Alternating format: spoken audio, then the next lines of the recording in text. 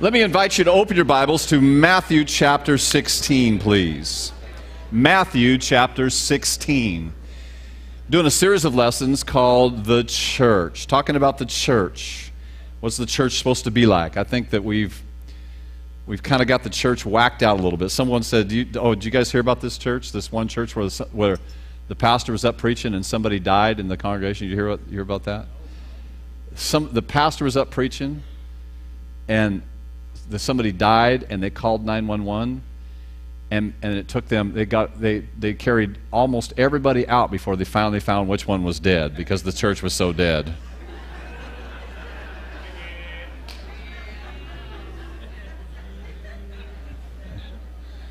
Hey let's never get that way at faith center church amen? Had a guy from out of town last week and goes to a conservative denominational church and and uh, he says to me, he says, "Man, I don't fall asleep during your sermons." I said, "Okay, good. That's I guess that's good. I guess that's positive, you know." So, Jesus said this. Jesus came to the this is Matthew chapter 16, verse 13. Jesus came to the region of Caesarea Philippi, and he asked his disciples, saying, "Who do you men say that I, the Son of Man, am?" And some some say you're John the Baptist, some Elijah or Jeremiah, one of the prophets. But he said to them, "But who do you say that I am?" Peter answered and said, "You are are the Christ." Christ means the anointed one, the Son of the living God. Jesus answered and said to him, Blessed are you, Simon Barjona, for flesh and blood has not revealed this to you, but my Father who is in heaven. And I'll say unto you that you are Peter. Upon this rock I'll build my church, and the gates of hell shall not prevail against it. And I'll give you the keys of the kingdom of heaven. Whatever you bind on earth will be bound in heaven, and whatever you loose on earth will be loosed in heaven. One translation says, Whatever you allow here on earth will be allowed in heaven. I think the church needs to rise up in our authority and not allow some of the stuff that we're allowing. Amen. You know, go to the Philippines and you know we have a, a work over there and and 180 churches over there that we help Pastor Paul do and and um, and it's not uncommon for me to walk down the streets and get propositioned by somebody by some you know 15 year old kid that I should, is, if he wants, do I want his 11 year old sister for, for sexual reasons? And I'm thinking to myself, when I'm over there, I think to myself, where's the church at? Where's the church?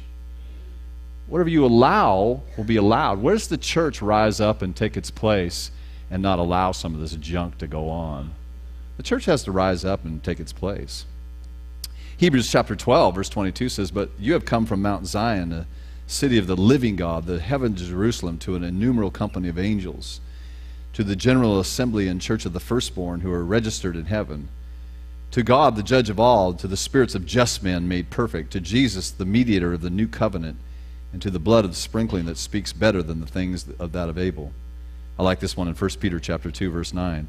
But you are a chosen generation, a royal priesthood, a holy nation, his own special people, that you might proclaim the praises of him who has called you out of darkness and into his marvelous light, who was once not a people, but are now the people of God, who had not obtained mercy, but now you have obtained mercy. And then my favorite scripture of all, all time, I've got this on my wall in my house, and it's Romans 5.17. For if by one man's offense death reigned through the, mo- the one, much more those who receive the abundance of grace and the gift of righteousness will reign in life by one Jesus Christ.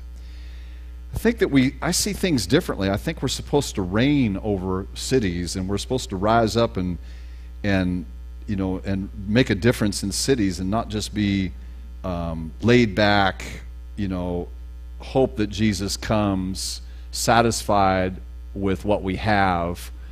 Uh, someone said in our men's Bible study this, this, this week, they said, um, they said the, the, the most selfish position a Christian can take is, Lord, I just want enough for me and my family.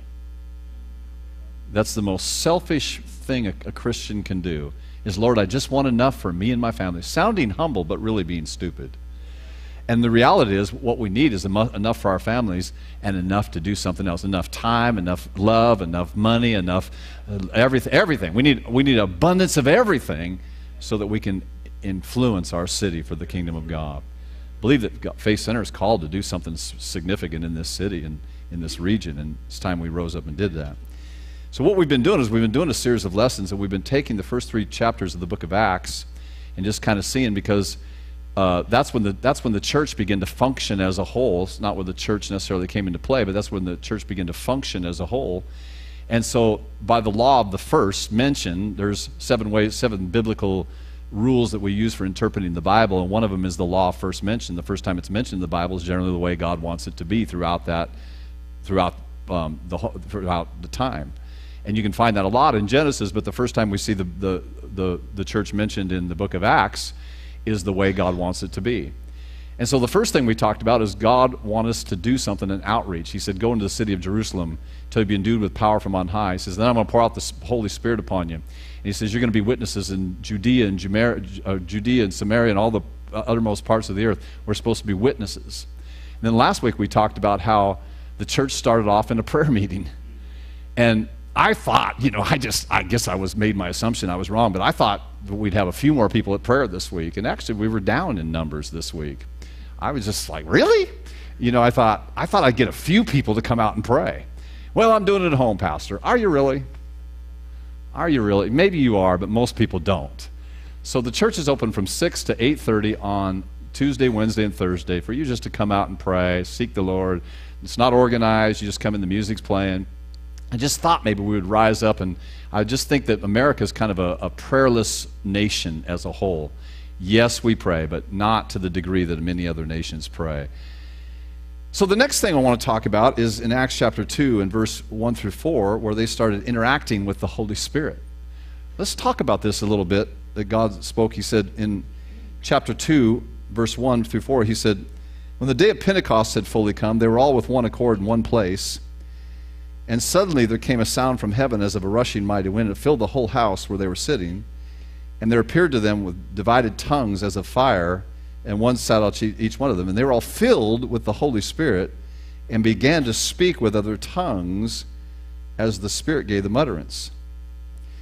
Now, it goes on to say, and I'll skip a few verses here, and we'll go down to verse 14, because he's talking about the work of the Spirit. And he says, But Peter's standing up in the with the 11 this is after the holy ghost had come upon him and all these men heard these guys were speaking in tongues and, and all these guys heard them speaking in, uh, their own language. It doesn't mean said they spoke in that language it just said they heard them speak with that language. It's a real supernatural time.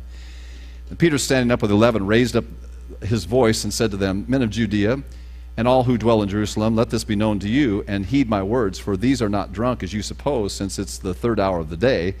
But this is what was spoken by the prophet joel. It shall come to pass in the last days that I will pour out my spirit upon all flesh, and your sons and your daughters shall prophesy, and your young men shall see visions, your old men shall dream dreams, your young maidservants and maidservants, and I will pour out my spirit in those days, and they shall prophesy, and I will show wonders in heaven above, and signs in the earth beneath, and blood and fire and vapor of smoke, and the sun shall be turned to darkness, and the moon into blood, before the coming great and awesome day of the Lord. It shall come to pass that whoever calls on the name of the Lord shall be saved.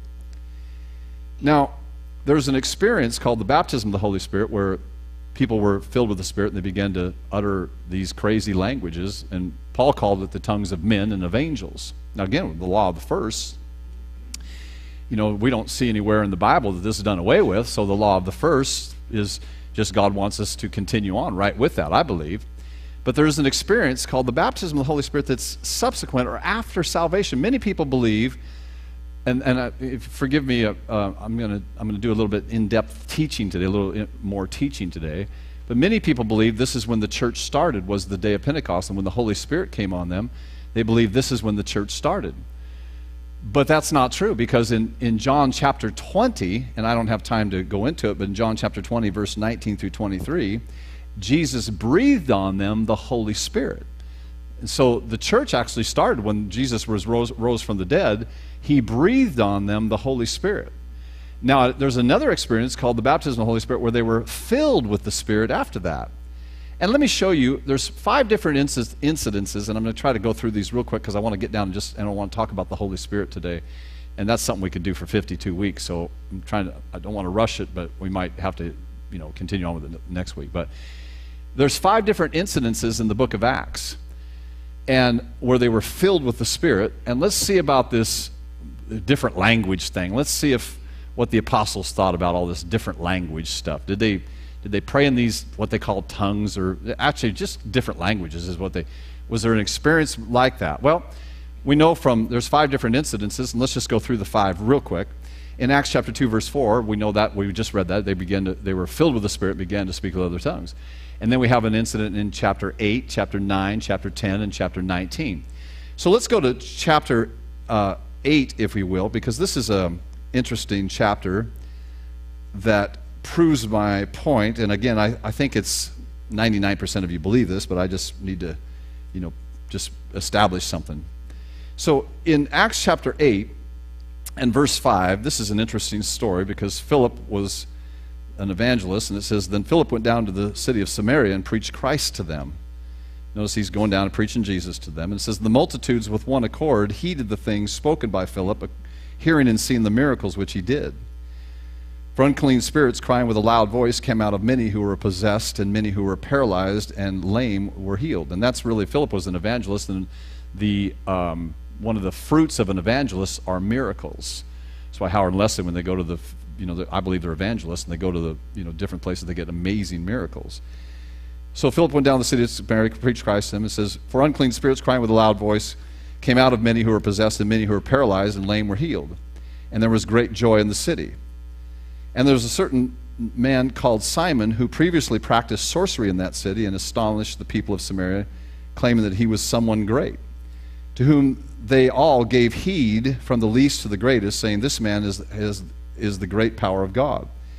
And they heeded him because he had astonished them and his sorceries for a long time. But when they believed Philip and he preached the things concerning the kingdom of God in the name of Jesus Christ, both men and women were baptized. Then Simon himself also believed, and when he was baptized, continued with Philip and was amazed seeing the miracles and signs which were done. And when the apostles, now notice this now, now verse 19, remember they preached the word of God, now notice this, I'm, I'm teaching here. They preached the Word of God, they preached Christ to them. People got saved, and, and then, man, there's great miracles happen. But then notice this in verse 14. It says, Now when the apostles who were at Jerusalem heard that Samaria had received the Word of God, Jesus is the Word of God, they sent Peter and John to them, who, when they had come down, prayed for them that they might be filled with the, uh, receive the Holy Spirit. So one incident they were saved, and here they, but then they prayed and said, well, we got to go down and get, get them that experience called the baptism of the Holy Ghost. We got to go down and minister that, that other thing to them. So they went down there, and he says, for yet he had fallen upon none of them. They only had been baptized in the name of the Lord Jesus. And they laid hands on them, and they received the Holy Spirit. When Simon saw through the laying on of the apostles' hands that the Holy Spirit had been offered, he offered them money. Now notice this now in Acts chapter 2, they, they spoke in those other languages. Here it doesn't say that they spoke in those other languages, but what does it say? It says when Simon saw, what did he see? He had to see something. Probably see them spoke in those languages. Laying on apostles' hands that the Holy Spirit was offered, he offered them money, saying, Give me this power also that anyone on whom I lay my hands may receive the Holy Spirit. And Peter said to him, Your money perishes with you because you thought that the gift of God could be purchased with money. For you have neither part nor portion in this matter, for your heart is not right with the things of God. The word matter here is a very interesting word in the Greek. It's the exact same Greek word that's found in Acts chapter 2 and verse 4 that says they were, be, began to speak with other tongues as the Spirit gave them utterance. The word matter here is the same Greek word, utterance, in Acts chapter 2 4 as here in this chapter. So he says, You have no, neither part nor lot in this utterance. So, just doing some teaching here. In Acts chapter 2, they were, had this language that they spoke these other languages. In Acts chapter 8, doesn't say that they did, but it infers that they did. Acts chapter 9, verse 1 through 19, I don't have time to go into it, but um, I just, I, for the sake of time, I'm not going to read all verse 1 through 19, but you can read it. And Paul was struck down on the road to Damascus. And uh, he became blind, and, and very interesting story here. He said, you know, Jesus says to him, he says, why are you kicking it? Why are you persecuting me? Isn't it interesting? Jesus said, why are you persecuting me? Because he was persecuting the church, and Jesus looked at you as the church. He's persecuted him. And so then he comes along and it says, we're, he says, we're going to, this guy comes along and says, that you might receive your sight and be filled with the Spirit. Now, it doesn't say that he spoke in those other languages, but we know that he did because in 1 Corinthians chapter 14, he says, I, I've spoken those other languages more than all of you. So we know that Paul did that. I'm, I'm hurrying here. Acts chapter 10, verse 44 says this While Peter was still speaking these words, the Holy Spirit fell upon those who had heard the word, and those of the circumcisions who believed were astonished, as many as came with Peter, because the gift of the Holy Spirit had been poured out upon the Gentiles, for they heard them speak with tongues and magnify God. So that's obvious there. And one more, and then we'll get into some other things. Acts chapter 19. Five incidences in the book of Acts. The evidence is overwhelming that when you're filled with the Spirit, there is an evidence called that other language thing, or they call it tongues, but whatever. And in verse uh, 2, the Bible says, Then said, do you, Did you receive the Holy Spirit when you believed? So they said to him, We have not so much heard whether there is a Holy Spirit. And he said to them, Unto what then were you baptized? So they said, Unto John's baptism, which was a baptism repentance towards Jesus. Then Paul said, then, then Paul said, John indeed baptized with the baptism of repentance, saying to the people that they should believe on him who would come after him, that is, on Jesus Christ. And when they heard this, they were baptized in the name of the Lord Jesus. And when Paul had laid his hands on them, the Holy Spirit came upon them, and they spoke with tongues and prophesied. So, five different incidences in the book of Acts where they were filled with the Spirit. Five different instances where they filled with the Spirit. Two of them infer, three of them just flat out say it. So, as the church began, I believe God wants us to do this. The, the way I believe that you interact with the Holy Spirit is just by giving God give you that prayer, that supernatural prayer language that will just infuse you. Jude 20 says, building yourselves up on your most holy faith, praying in the Holy Spirit. 1 Corinthians chapter 14 talks about edifying yourself by praying in those other languages that he's talking about. God will give you a, a prayer language if you, if you want. It. It's not, it's not essential to heaven, but why, but he says, I'm going to abide with you forever. Why wouldn't you want it? I believe that for me, it's been the greatest blessing of my life that knowing that I can pray, and, and we, got so, we could talk about this for so long, but there's so many times when you just don't know what to pray for, and you just, God will just give you that, that prayer, just that, that, that intercession for people that you pray for. So there's a, a language out there that God will give you to infuse you with His Spirit. And there's something about people. I've never heard it. I, have been at this 30, I've been pastoring now almost 31 years and been born again for 34 years. You imagine pastoring after four, being born again for three years or four years and then pastoring a church? How dumb is that? This wasn't very smart. But, I, but I've had a lot of people, be sad to say, say, people said to me, you know, I'm sorry we came to Faith Center. You know, well, you know, I'm sorry. Well, I'm sorry you know, I'm sorry I married so and so. You know, you know, that's a bummer. You know, I'm sorry I took that job. I, I'm sorry that that you know that I that I got that relationship. I'm sorry about that. But I've never had anybody say, I'm sorry I got filled with the Holy Ghost. Nobody ever has ever said, Man, I'm sorry I'm filled with the Spirit. There, there's just something about the Holy Spirit that when you're working with the Holy Spirit, I owe everything I am or ever will be after salvation to the baptism of the Holy Spirit. I am where I am today because of the baptism of the Holy Spirit. So I just wanted to make that known. Now let's talk about the Holy Spirit and how we that's the way we work with him and we pray in the Spirit and different things. I want to encourage you to be filled with the Spirit. Now, let's talk about the Holy Spirit for a second here. Jesus said this in John chapter 14, and we'll spend a little bit of time over in those 14, 15, and 16 of John, so if you want to get over there for a little bit. Jesus said this in John chapter 14, verse 16. He says, I'll pray the Father, and he'll give you another helper that he may abide with you forever, the Spirit of truth, whom the world cannot receive. Now, there's another incident right there where he said, the Holy Spirit, whom the world cannot receive. Can the world receive the Holy Spirit of the salvation? Of course they can. But you have to be born again to receive the Holy Spirit. So he says, Whom the world cannot, because, because it neither sees him nor knows him, but you know him, for he dwells with you and shall be in you. I'll not leave you orphans, I'll come to you. Now, here's an interesting thing. The, the word here, he says, I will, I will give you an, uh, another, the word, I believe the King James says, I'll give you another comforter. Now, the word another is a very important word. There's one Greek word for another that, and I'm not a Greek scholar at all, I just can learn from Greek guys that are. But there's one Greek word that says another, it means of a different kind, and there's another word translated another that means of the same kind. And this word is the one that means of the same kind. So he says, I'll give you another comforter. He'll abide with you forever of the same kind. He's the same kind as, as who? As me. It, talking about Jesus. As me. I'm the, he's the same kind. Now, I'm going to I'm going to say something that's going to shock you and throw this out and um, take this for however you want, but there is no scripture in the Bible that says that the Holy Spirit will convict the Christian of sin. There's no, there's no scripture in the Bible that says that the Holy, people always say, oh, the Holy Spirit convicted me. There is not one scripture in the Bible that says the Holy Spirit will convict the Christian of sin.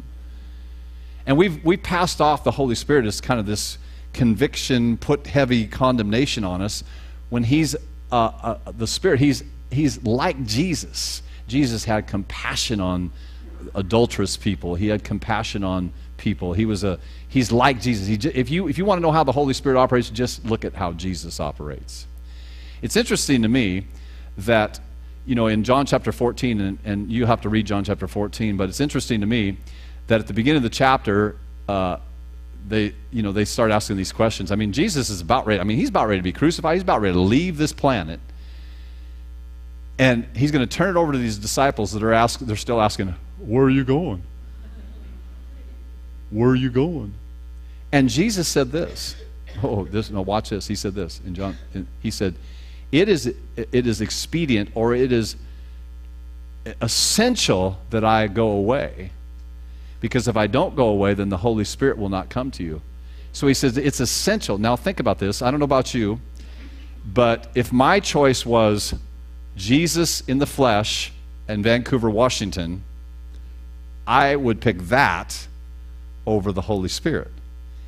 But apparently, Jesus said he didn't value that way. He said, It's more important that I go away because the Holy Spirit will do greater works in you if, because he'll come in you. So he's saying that the Holy Spirit in you is more important than me being here in the flesh.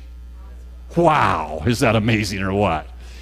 So it's better. He said it's better for you. It's better, church, that you interact with the Holy Spirit him dwelling in you personally than it is for Jesus being here in the flesh. Man, we, we just, the, the depths of the Holy Spirit are amazing. He said this. Uh, he said, uh, John 14, 26, but the Helper, the Holy Spirit, who the Father will send in my name, he will teach you all things and bring things to remembrance, all things that I say to you. Now, the, the, it's interesting that the, the Holy Spirit's job, one of his jobs, is to teach us all things. We've got to get to the place where, uh, where we don't depend upon the Pastor Glen Johnson for our spiritual feeding. This should just be a, a, boost for you. But the Holy Spirit can teach you things right out of the Word of God and we shouldn't depend upon our pastors only for our spiritual feeding, although that's part of it. Our, you know, our young people, things like that, our young Christians coming up. But if you've been around 10, 15 years, you ought to be able to feed yourself. And you should be able to, you know, you should be able to get revelation. Now, now the Bible is an interesting book because the Bible is spiritually understood. It's not a, it's, if you read it with just a carnal mind, you won't understand the Bible. But if you understand the Bible through revelation knowledge, and that's what the Holy Spirit does, it comes to bring us revelation knowledge. Let me give you a, a situation like that. Um, so many times over the history of Faith Center Church, the Holy Spirit has given me revelation knowledge on something that we've literally just changed our church and the direction of our church. And I could probably tell you five or six different incidents. But recently, I mean, recently, I say in 2010, January 26th, 1.15 in the, in the morning, before I discovered melatonin. Um, 1.15 in the morning, I was woken up with four words that changed our church. And, and it was a financial thing, but he said to me this. He's, I, I, was, I was asking the Lord, I said, Lord, what is the deal with this whole recession? We're going through a recession here. We've been in a recession since 08, and here we are a year, you know, a year over a year into this thing because it was just the first part of January. And, and the Lord, through revelation knowledge, of his own doing, spoke four words to me that, that literally we're doing what we are today because of these four words. And he said this to me He said, The tithe is holy. The tithe is holy. And that came by revelation knowledge to me. And literally, if you could hear the hundreds, I don't know, I, I won't say hundreds, many, many tens and tens and tens and twenties and thirties of testimonies that have come from this congregation because of those four words that the Holy Spirit gave me by revelation the testimonies that have come because of that, and businesses have prospered, and families have turned around because of the tithe is holy. It's been amazing. The turnaround of our church, it was fascinatingly amazing, and it's because the Holy Spirit taught me those things through revelation knowledge of His Word. And then, of course, I delivered it to you, and it became revelation. Many of you have ignored it, and that's fine. And, and, and no, I mean, it is. It's fine. You can do what you want. It's not a heaven or hell issue. You can do what you want. But many of you have taken heed of that word, and it's, and it's begun to prosper you amazingly, and it's, it's, been, it's been great. No condemnation to the people that aren't, because if, if, if, if you want to stay that way, that's fine. That's, there's just no condemnation to that. But the Holy Spirit gave that to me by revelation.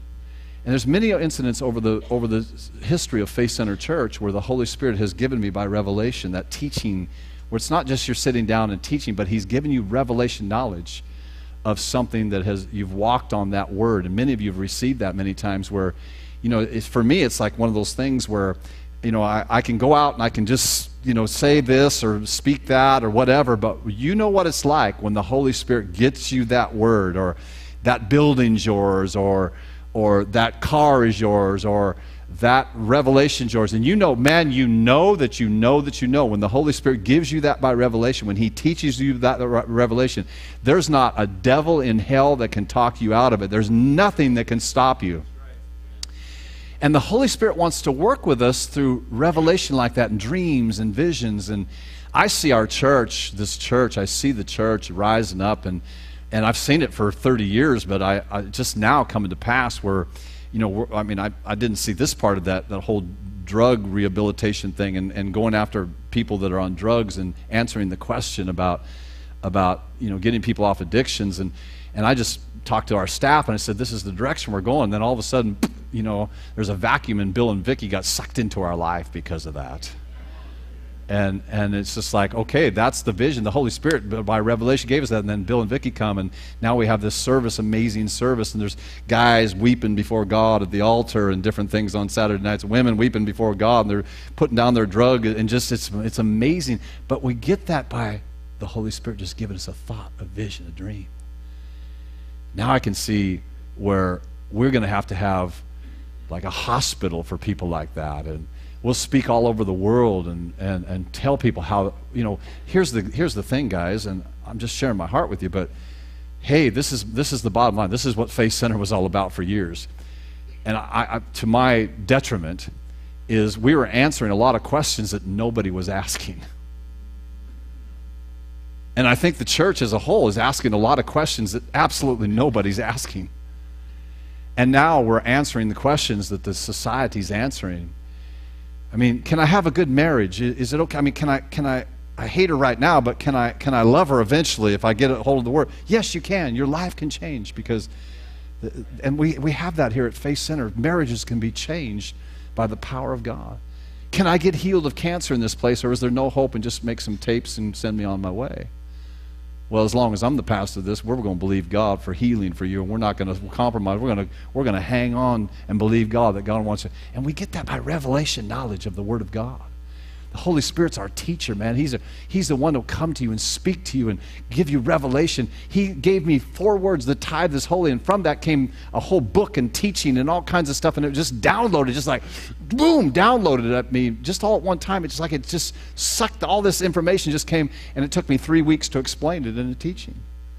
The Holy Spirit's amazing. And He'll give you a dream and a vision, and many of you have a dream to become something in your life and do something, and you say, Well, I don't know if I could ever do that. When are you going to realize, guys, that God purchased, God loves you so much and believes in you so much that He sent His only Son to die for you, and He thinks you're quite cool. And He thinks that you can accomplish the vision that He's placing in your heart right now. He thinks you can accomplish that. So I don't think I could. Well, now you've got it.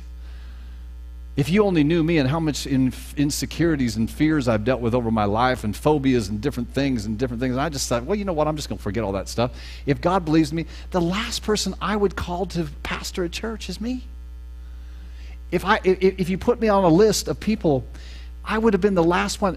Self, I mean, I'm not saying, I'm not even saying, I'm saying this as sincere as I can be. If you give me a list of 10 people, mine would have been at the bottom, off the list. There's no way that I could ever do this when the Holy Spirit gives you something, man, your dreams and the vision that He's given you, He'll teach you something. The dream that He'll give you is probably way bigger than you ever thought of. Well, I just want us four, no more. I just want enough for my family. Not me. I want to take as many people with us to heaven as we can. I want to change this county. I want to, when, when we, we what, what, hey, hey, when, we, when I die, when I, want, when I die, I, I picture life like this. And I'm, I'm just done here. But this is the way I picture life. What does my funeral look like? Well, I picture my funeral.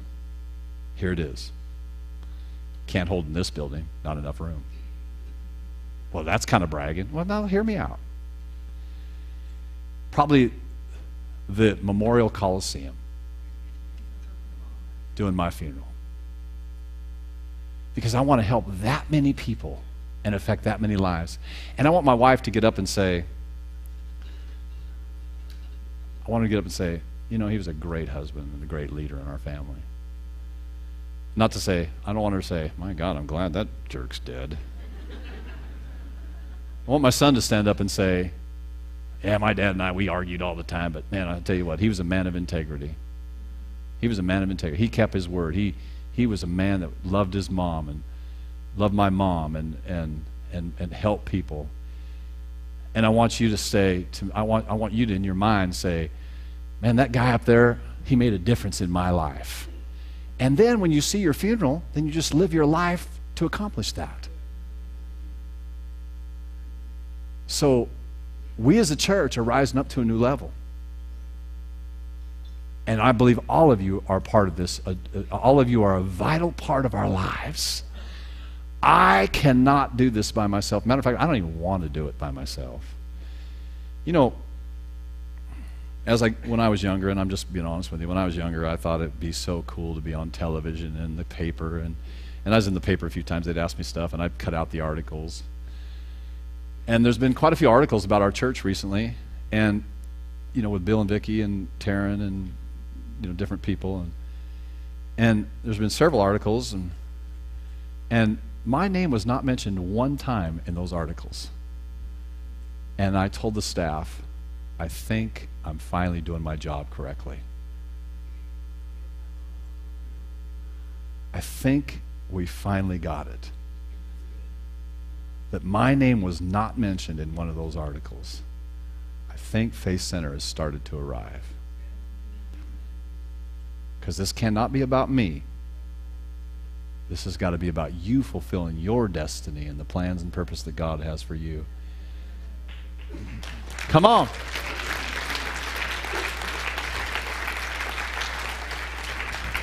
Business owners, I need you. What, what do you need from me? You need my prayer? Let other people pray. I need your money. We need your finances. We gotta, we gotta, we gotta build, we gotta build buildings. We gotta, we gotta build hospitals, man. We gotta, we gotta, we gotta get, we gotta build, man. You can pray too. You know what I'm saying. I say I think say stupid things for effect sometimes. Please pray for us.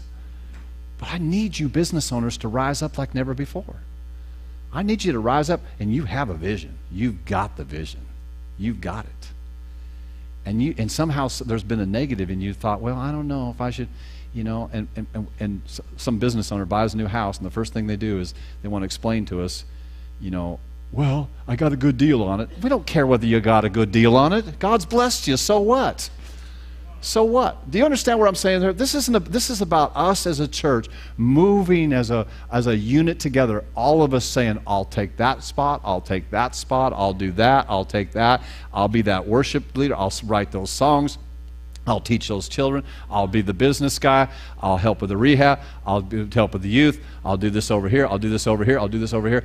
And when it's all said and done, we stand before Jesus. He'll look at us all and say, Hey, you guys are pretty cool down there. You guys, well done, good and faithful servant. And I guarantee you that if you're called to nursery and you do the best job you can, I guarantee you that Jesus will look at you and he'll give you the same reward as Billy Graham or me or anybody else because you were obedient to the call that God had you do. The Holy Spirit will give you those things. And if your dream isn't shocking, ridiculous, and big, it's not the Holy Spirit. Because if you can do it, then it's not the Holy Ghost. Mine's shocking, ridiculous, and huge. Are you with me, church?